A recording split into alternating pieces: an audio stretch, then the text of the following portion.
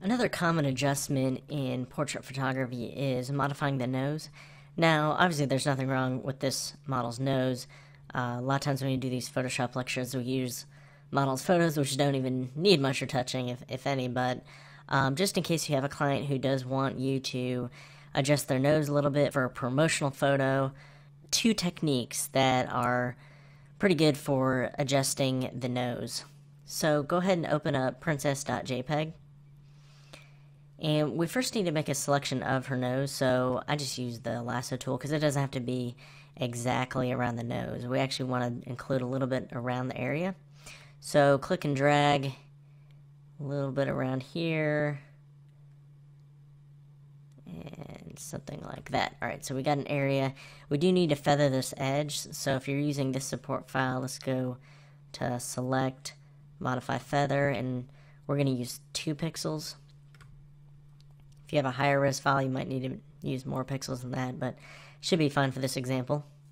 So once we have a selection here, we need to duplicate it onto its own layer after we've feathered the edge. So go ahead and press Control J.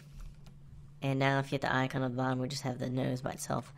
So now that we have this on its own layer, we can try a couple techniques. So if we go to Edit, Transform, Perspective is one that you might want to try if you just want to change the perspective of the nose. That was not going to work in this example. I'm going to hit Escape uh, and go to Edit, Transform. Try Warp is a good one to try if you just click and drag. You just want to slightly adjust the nose.